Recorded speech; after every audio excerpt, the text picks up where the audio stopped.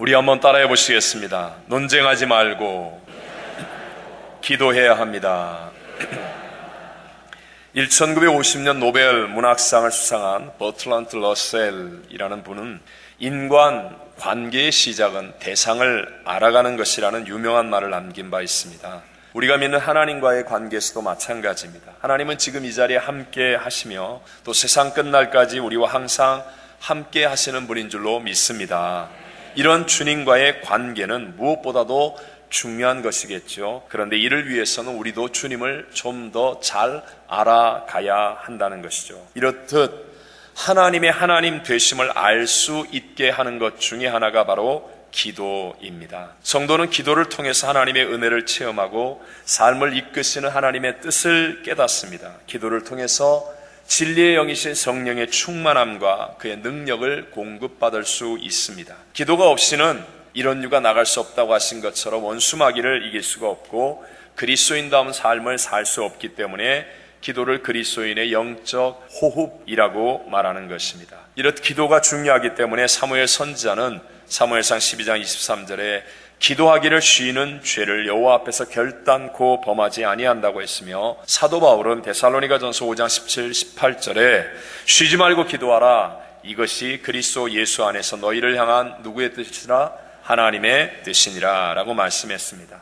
성경 마가복음 11장에 보면 온유하고 겸손하신 예수님께서 예루살렘 성전 정말로 유대인들의 가장 거룩하고 존귀한 그 자리에서 채찍을 휘두르시며 화를 내시는 충격적인 장면이 나오지요.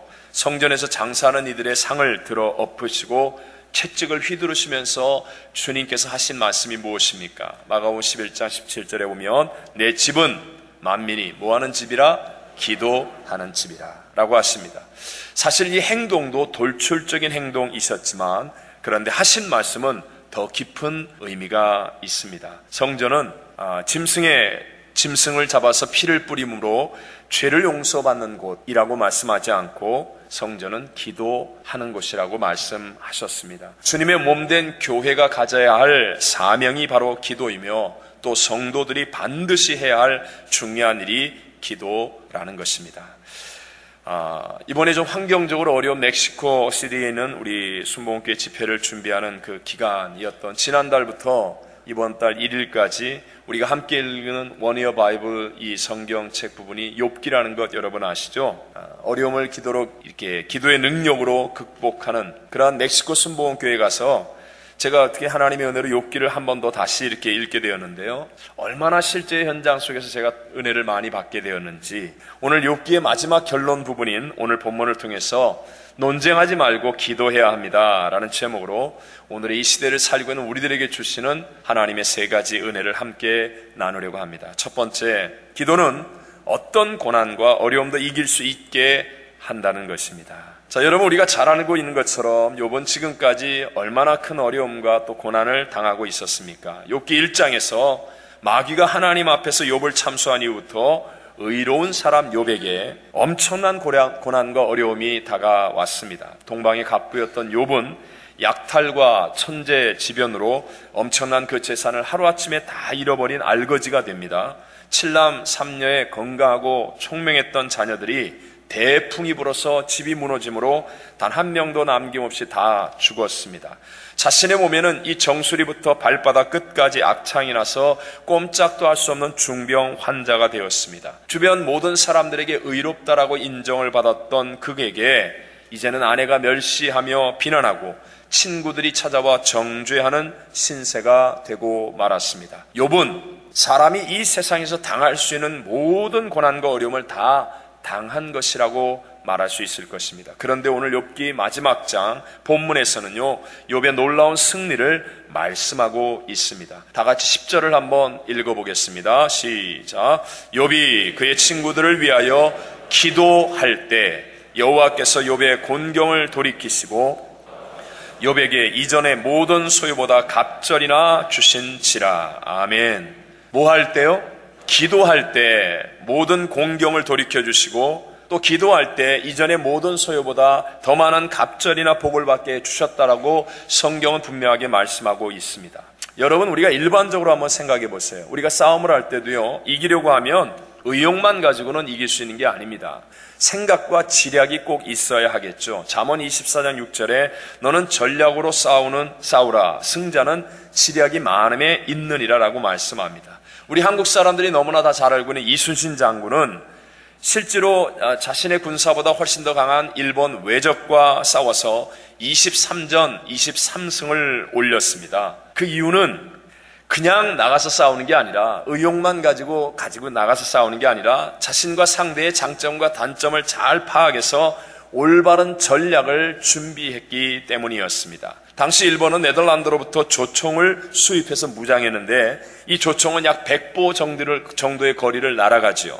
그런데 조선의 군사가 갖고 있는 활이라는 무기는 30보 정도밖에는 날아가지 않습니다. 그러므로 일단 이런 거리를 가지고 싸우면 상대가 안 된다는 것을 이순신 장군은 알았습니다. 그래서 이런 정도의 거리의 접근전은 피하고 특별히 고려말 최무선에 의해서 개발되어진 조선이 훨씬 앞선 무기인 대포가 있습니다. 그래서 그 대포를 가지고 멀리서 포격전을 해서 싸우는 그런 전략을 만들어낸 것입니다. 그러니까 미리 생각하고 준비하여 전략을 가지고 싸우니까 23전 23승하는 놀라운 승리자가 되는 거죠. 근데 원균이란 사람, 이순신 장군을 시기하고 질투하고 모함해서 이 나섰던 원균이라는 사람은 상대방의 목을 베어가지고 전공을 세우는 용기 있는 장수답게 보이려는 그러한 것에 마음을 빼앗겨서 무리하게 접근전을 펼쳤다가 백전 백패해버리고 말더라는 것입니다. 자, 욥이 오늘 우리에게 보여주는 고난과 어려움의 배경에는 원수마귀 사탄이 있었습니다. 욥기 1장 9절로 11절의 성경은 이렇게 말하죠. 사탄이 여호와께 대답하여 이르되 욥이 어찌 까닭없이 하나님을 경외하리까 주께서 그와 그의 집과 그의 모든 소유물을 울타리로 두르심 때문이 아니니까 주께서 그의 손으로 하는 바를 복되게 하사 그의 소유물이 땅에 넘치게 하셨음이니다. 이제 주의 손을 펴서 그의 모든 소유물을 치소서 그리하시면 틀림없이 주를 향하여 욕하지 않겠나이까 이렇게 참소하고 있는 원수마 기 때문에 고난과 어려움이 다가왔습니다. 그런데 욥은 그것을 어떻게 이기는가를 우리에게 분명하게 보여주었는데 기도할 때 하나님께서 모든 공경을 돌이켜 주시고 기도할 때 이전의 소유보다 더 많은 갑절의 복을 허락받게 해 주신 줄로 믿습니다. 마찬가지로 오늘도 이 땅의 정사와 권세를 잡고 이 세상을 주장하려고 하는 원수마귀가 있다는 거죠. 우리의 삶에도 동일하게 영적인 싸움이 있습니다. 이 영적인 싸움에서 반드시 승리하게 만들어 주는 것이 바로 기도인 것을 믿으시기 바랍니다. 기도가 영적 포탄이 되어서 날아가면 그러면 원수마귀는 완전히 박살이 나는 거죠. 그래서 기도하는 사람은 결국 어떤 어려움과 고난이 다가온다 할지라도 종국에는 승리자가 될 수 있다는 것입니다. 우리 성경을 보면 히스기야 왕 때 그때 당시에 강대국 아수르의 산헤비라는, 산헤비라는 사람이 18만 5천 명의 대군을 이끌고 이스라엘을 파죽지서로 공격해 오죠. 절대 절명의 위기 속에 히스기야 왕이 그때 하는 일이 무엇입니까? 그 옷을 찢고 굵은 배를 두르고 여호와의 전에 들어가서 기도하였습니다. 그랬더니 열왕기와 9장 19장 35절이 이렇게 말씀합니다. 같이 한번 읽어 보겠습니다. 시작. 이 밤에 여호와의 사자가 나와서 군사 18만 5천 명을 친지라 아침에 일찍이 일어나 보니 다 송장이 되었더라. 할렐루야.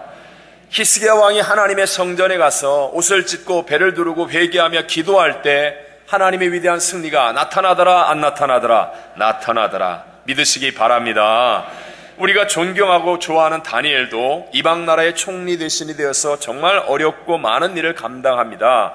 그런데도 불구하고 그는 하루에 세 번씩 기도하는 사람이었죠. 이방 사람이 와서 자기들의 머리가 되어 총리 대신이 되어 있는 것을 시기하는 많은 사람들이 다니엘을 모함하고자 뒤지고 뒤지고 뒤져도 흠잡을 일이 없어요. 근데 자기들과 다른 게 하나 있는데 이 사람이 하루에 세 번씩 공개적으로 기도하는 모습이 달라 왕을 적당히 속여 왕의 어인이 찍힌 왕 이외에 다른 누구에게도 기도하는 사람은 사자굴에 던진다는 그런 모함하는 조서를 만들었습니다. 그럼에도 불구하고 다니엘은 기도하기를 포기하지 않았죠. 그래서 다니엘이 사자굴 속에 들어갑니다. 그런데 이게 웬일입니까? 다니엘은 하루에 세 번씩 기도하는 사람이기 때문에 하나님의 사자가 다니엘의 앞길을 예비하는 거예요. 사자들의 입을 닫아서 오히려 사자들이 다니엘의 밤을 지켜주는 호위병이 되고 따뜻한 모포가 되고 푹신한 벽이가 되는 거예요.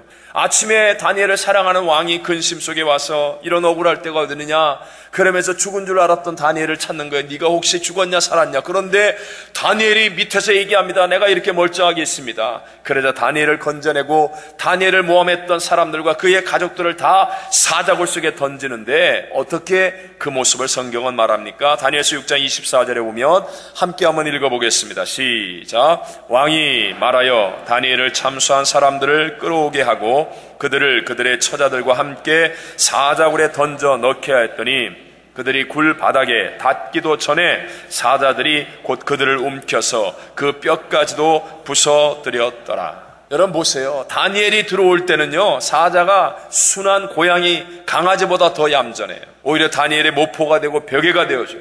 그런데 그냥 그 사람들이 들어오니까 그 사람들의 발이 땅에도 닿기 전에 그냥 사자가 그냥 굶주린 사자들이 뛰어올라 그들을 움켜잡고 뼈까지 부수어뜨렸더라 라고 말씀하는 것입니다. 이렇듯 우리의 기도는 우리가 생각하지 못하는 영적인 능력이 되어서 우리의 앞길의 고난과 어려움을 이기게 하여 주시는 것임을 믿게 되시기를 바랍니다.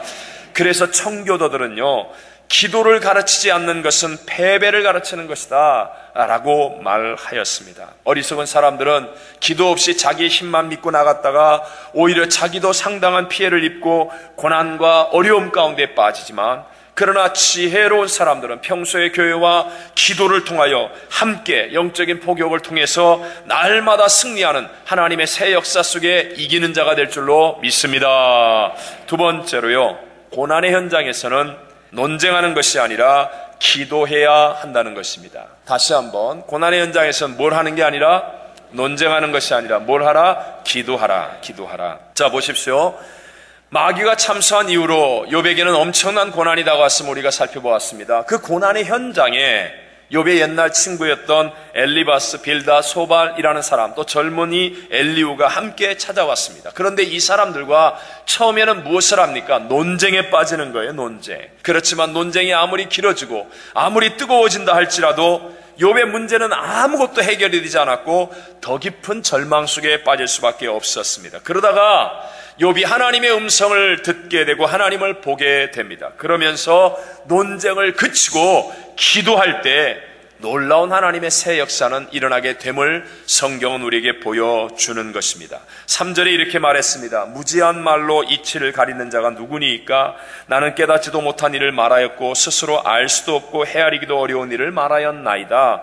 그러면서 5절과 6절에 내가 죽게 대하여 귀로만 귀로 듣기만 하였사오나 이제는 눈으로 주를 배움나이다. 그러므로 내가 스스로 거두어 드리고 티끌과 제 가운데서 회개하나이다. 논쟁에 빠졌던 것, 쓸모없는 말을 했던 것, 이치에 없는 말, 맞지도 않는 말, 내 주장, 내 고집, 내 생각 회개하나이다. 그리고 다른 이웃을 위해 기도할 때 하나님의 새 역사는 일어나게 되더라는 것입니다.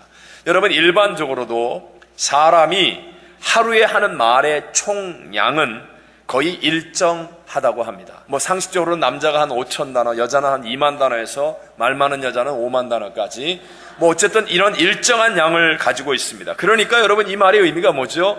사람에게 쫓아다니면서 말을 많이 하는 사람이 되어지면 기도가 많아진다, 적어진다. 기도는 적어질 수밖에 없다는 거예요. 그러나 반대로 하나님께 기도를 많이 하면 오해를 받을 말, 답답하고 억울해서 내던진 말, 쓸데없는 말, 이런 말들이 적어지게 된다라는 거예요.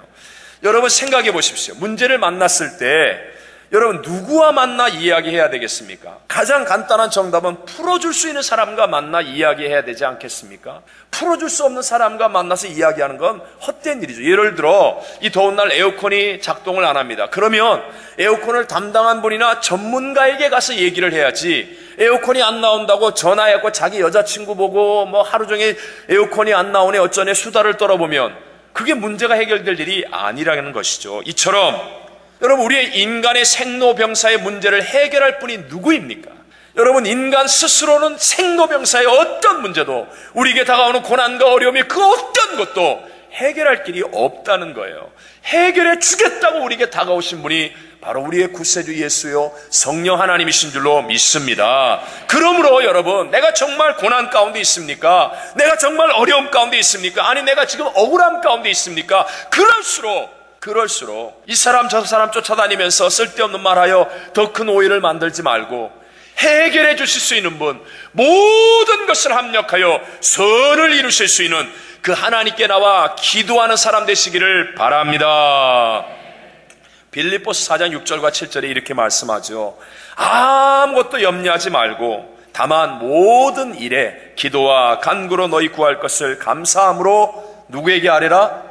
하나님께 아뢰라. 하나님께 아뢰라. 다시 한번 옆집 아저씨한테 아뢰라. 뒷집 아줌마하고 얘기해라.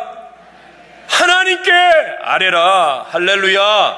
그리하면 그리하면 모든 지각에 뛰어난 하나님의 평강이 그리스도 예수 안에서 너희 마음과 생각을 지키시리라 말씀하는 거예요. 그래서 하나님께 기도를 많이 하는 사람 보면 온 세상이 불경기라고 말하는데도 불구하고 얼굴에 평강이 넘쳐나는 거예요. 저 사람 지금 가정에 문제가 있고 몸에 육신에 질병이 있고 여러 가지 어려움이 있는데도 불구하고 하나님께 아뢰할 수 있는 사람을 보면 마음속에 기쁨이 있는 거예요. 말할 수 없는 소망이 있는 거예요. 그러니까 주변 사람이 보면 이상한 거예요. 저 사람은 정말 이상한 사람이야. 여러분과 제가 이런 이상한 사람 좀 되어 보시기를 바랍니다. 여러분 사람에게 말하면 어떻게 돼요? 그런 문제가 더 커지잖아요. 하나님께 아뢰면 합력하여 선이 되지 않아요. 그러므로 신앙이란 무엇이냐? 사람에게 이야기할 것인가? 하나님께 기도할 것인가? 이것을 내게 바르게 결정하여 행동하는 것이 승리하는 신앙 생활이라는 거죠. 아, 시카고에 있다고 제가 기억이 나는데 로열라 대학의 아, 교수였고 예수의 사제였던 신부님이에요. 존 포웰이라는 분이 쓴 왜 나는 내가 누구인지를 당신에게 말하기를 두려워하는가 좀 제목이 긴 책이 있었습니다. 그 책에 보면 사람의 회복이 일어나려면 누구든지 회복이 일어나면 속 안에 있는 그 어떤 상처, 아픔, 문제 이런 것들을 털어놓아야 되는데 그런데 사람들은 이걸 못한다는 거예요. 왜? 사람들에게 말하면 오히려 회복은커녕 오해가 되고 또 무시를 당하고 내가 책임을 지게 되고 아니면 싫어하게 되고 사람들이 나를 싫어하게 되고 쫓겨나게 되고 문제와 어려움이 더 커지기 때문에 가슴 속에 묻어두고 답답하게 그렇게 힘들고 어렵게 산다라는 거예요. 그러면서 이런 회복을 위해서는 털어놓을 수 있는 이 교제의 다섯 단계를 이분이 말씀합니다. 다섯 단계. 회복 털어놓을 수 있는 교제까지 가는 이 단계가 있다. 첫 번째 단계는 보통 우리가 만나면 인사 정도 하는 단계죠. 교회에서도 우리 처음 만나면 이렇게 새로 오신 분들 인사하잖아요. 아, 반갑습니다. 안녕하세요. 나가서, 아유, 참 반갑습니다. 이 정도의 단계. 이게 1단계예요. 그 다음에 두 번째 단계는 사건에 관해서 이야기를 할 수 있는 단계. 아, 오늘 날씨가 참 덥죠? 아, 네, 그렇네요. 아, 잘 지내시죠? 건강하시죠? 이 정도. 그 다음에 세 번째, 자기 의, 의견을 표현할 수 있는 단계. 오늘 날씨가 더운데 교회 실내 에어컨 온도가 좀 낮은 거 아니에요?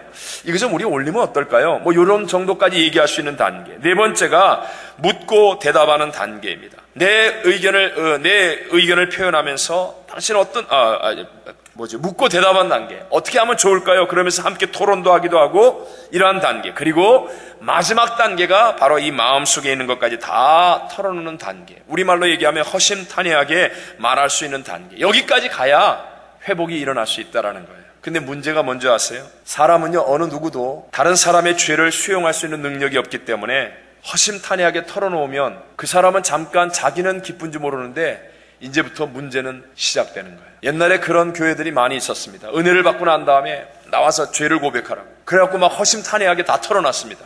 내가 옛날에 이런 짓을 했고 내가 이렇게 죄를 지었는데 하나님이 용서해 주셨습니다. 그 틀린 얘기 아니에요. 하나님 용서해 주셨어요. 근데 허심탄회하게 사람들한테 다 털어놨더니 나중에 난리가 일어났어요. 저놈 죽일 놈이라고 그러고, 어, 저거 뭐 가정이 깨어지고요. 막 교회가 깨어지고요. 난리가 일어났어요. 사, 이 공적인 죄는 공적으로 해결해야 할 필요가 있지만 사적인 죄는 이게 사람 앞에 털어놓으면 이게 오히려 수용할 수 있는 능력이 우리들에게 없기 때문에 난리가 일어나는 거예요. 여러분 한국 축구 대표 선수 가운데 기성용 선수라는 사람이 있었잖아요. 자기 개인용 페이스북에다가 감독 욕하는 말 몇 개 썼다가 잘렸어요. 네. 그 지금 얼마나 어려움 나오고 있습니까? 사람은 수용할 능력이 없어요. 그럼 바보짓이에요. 그러니까 우리의 인생의 회복이 안 일어나는 거예요. 이 회복이 누구에게 가야 되냐는 거예요. 하나님 앞에 털어놓는 지혜로운 성도가 되시기를 바랍니다. 그럴 때 우리의 인생에 진정한 회복이 일어나는 거예요. 그래서 교회 와서 처음에 기도할 때는요, 기도가 잘 안 돼요. 기껏해 하나님 안녕, 나도 안녕, 그럼 안녕. 뭐 이런 거밖에 안 돼요. 그렇게 하는 거예요, 하는 거예요. 그러다가 조금 더 깊어지면, 하나님 오늘 날씨가 좀 덥죠? 아, 근데 좀 아, 시원했으면 좋겠는데, 아, 뭐 할 말도 없고 그냥 하나님 시원하게 잘 지내세요. 뭐 이렇게 조금 이렇게 대화. 그 다음에 하나님 내가 오늘 교회 안 나오려고 그러는데 아, 정말 하나님 보고 싶어서 나왔습니다. 괜찮았죠? 괜찮았죠? 뭐 조금 더 깊어지는 단계. 그러다가 하나님 오늘 우리 집에 말이에 이런 문제가 있는데 우리 마누라가 속을 썩이고 애들이 걱정을 만들고 이렇게 저렇게 어려운데 정말 나 답답합니다. 요런 정도 가다가 그 다음에 하나님 앞에 남들한테 얘기하지 못하는 그 기쁜 것까지 다 털어놓는 이 허심탄회하게 있는 단계까지 자라나게 될 때 그때 우리의 인생에 하나님이 주신 진정한 회복이 일어나고 문제 속에 선이 나타나는 기적들을 체험하는 신앙의 자리까지 가게 될 줄로 믿습니다. 그래서 성경에는요, 힘쓰다, 힘써라 하는 말이 대부분 기도와 함께 연결되어 있습니다. 기도와 함께. 예수님이 겟세만의 동산에 올라가서 기도하실 때 뭐라고 기도합니까? 누가 보면 22장 44절을 같이 읽어보겠습니다. 시작. 예수께서 힘쓰고 애써 더욱 간절히 기도하시니 땀이 땅에 떨어지는 빗방울 같이 되더라. 예수님이요. 십자가에서 죽으시는 일이 너무 힘든 거예요. 근데 하나님의 아들이 도망갈 수는 없잖아요. 그래서 하나님 앞에 나와서 다른 것 못하고 기도하는 겁니다. 기도. 하나님이 이 잔을 내게서 옮겨 주옵소서. 이 잔을 내게서 옮겨 주옵소서. 너무너무 힘든 거예요. 근데 이 기도를 어떻게 합니까? 힘쓰고 더욱 애써 간절히 간절히 간절히 그러니까 땀방울이면 핏방울도 기도하니까 하늘의 평강이 임하는 겁니다. 하나님의 은혜가 임하는 겁니다. 능히 이길 수 있게 하시는 하나님의 능력이 임하여서 십자가를 지시고 승리하여 모든 인류의 구세주가 되신 줄로 믿습니다. 또 성령 세례를 체험할 때 사도행전 1장 14절이 이렇게 말하죠. 같이 시작. 여자들과 예수의 어머니 마리아와 예수의 아우들과 더불어 마음을 같이하여 오로지 기도에 힘쓰더라. 뭐에 힘쓰더라? 기도에 힘쓰더라. 기도에 힘쓰더라. 그러니까 성령 세례가 임하고 성령으로 충만해지는 거예요. 목사님, 나도 교회 와서 기도하는데 왜 저 사람은 방언 기도하고 나는 안 됩니까? 기도해! 해봐요, 좀. 기도해. 힘쓰더라. 힘쓰더라. 힘쓰더라. 당신은 기도할 때마다 눈 뜨고 사방을 돌아보고 앞뒤를 쳐다보고 딴 생각하고 주보 읽고 핸드폰 만지고 그 저분을 보세요, 저분은. 기도해. 힘쓰고 있지 않습니까? 힘쓰고 있지 않습니까? 기도에 힘쓰라고 성경은 말하는 거예요. 또 교회가 부흥할 때, 초대교회 부흥회 때, 사도행전 2장 42절, 시, 시작. 그들이 사도의 가르침을 받아 서로 교제하고 떡을 떼며 오로지 기도하기를 힘쓰니라. 기도하기를 힘쓰니라. 목사님, 우리 구역은 왜 잘 안 됩니까? 당신은 밥 먹을 때는 힘쓰지만 기도할 때는 힘을 안 쓰지 않습니까? 우리 교구는 왜 이렇습니까? 노는 거는 힘쓰지만, 놀러 가는 건 힘쓰지만, 그러나 기도에는 힘을 안 쓰지 않습니까? 우리 교회는 왜 그렇습니까? 다른 건 다 힘쓰면서 기도하기는 힘쓰지 않지 않습니까? 그러나 여러분 우리 가정이 기도하기를 힘쓰고 우리 구역이 기도하기를 힘쓰고 우리의 직장과 사업에서 기도하기를 힘쓰고 우리의 이민 생활 속에서 기도하기를 힘쓸 때 우리의 상상을 뛰어넘는 하나님의 놀라운 새 역사들은 반드시 일어나게 될 줄로 믿습니다. 내 문제를 해결해 주지 못할 사람들과 논쟁하는 일에 시간과 말을 다 쏟아버리지 마시고 역사의 주관자가 되시고 내 인생의 생사복을 다스려 주실 내가 잘 되기를 원하시는 그 아들도 아끼지 않고 나를 위해 내어주신 하나님 앞에 나와 기도에 뭐 하라고요? 힘써. 옆에 사람과 인사합시다. 기도에 힘을 씁시다. 자, 여기까지는 우리가 참 말도 잘하고 다 잘해요. 네, 마지막 세 번째로. 우리가 이렇게 기도가 중요한 것을 알고 승리하고 회복이 되기 위해서 기도에 힘써야 되겠다고 하는데도 불구하고 기도가 잘 안 되고 또 기도가 쉽지 않은 이유가 있어요. 그것은 바로 인간에게는 교만 때문이라는 것을 알아야 합니다. 내 안에는 교만. 성경에는요, 구하라, 기도하라는 말을 무려 약 3,600군데나 기록하고 있습니다. 그런데도 기도하기가 쉽지 않아요. 기도를 안 할 수밖에 없는 이유들은 너무나 많아요. 너무 피곤해서 못합니다. 바빠서 못합니다. 중요해서 못합니다. 이미 다 했었기 때문에 못합니다. 기도하고 기다리는 것보다 내가 지금 하는 게 더 좋은 것 같아서 못합니다. 이유는 수백, 수천, 수만 가지의 모습으로 나타나지만 그 모든 기도하지 않는 이유의 뿌리는 하나다. 뿌리는 뭐다? 교만이기 때문에. 교만, 교만. 자, 이걸 조금 한번 설명하기 위해서요. 생각해 보려고요. 여러분, 오늘 우리 인간, 현대인들은요. 모든 인간은 평등하게 지음을 받았다라는 개념을 굉장히 중요시 생각합니다. 미국 독립선언서에도 인간의 평등에 대한 것이 분명히 기록되어져 있습니다. 하나님의 형상을 따라 지음받은 인간은 다 고유한 가치가 있기 때문에 키가 적거나 크거나 뭐 뚱뚱하거나 가늘거나 많이 배웠거나 못 배웠거나 있거나 없거나 건강하거나 병들었거나 모든 인간은 다 평등하다. 이것은 성경의 진리입니다. 그런데 오늘날 이 인간의 평등의 사상이 시간이 지나면서 하나님을 제외하면서요, 교묘하게 사상 평등으로 변질되어 가고 있습니다. 사상 평등으로. 그래서 모든 인간이 동등한 가치를 지니는 것처럼 모든 사상 역시 동등한 가치를 갖는다라는 식으로 변질되어지는 거예요. 이것을 우리 신앙에 적용하면요.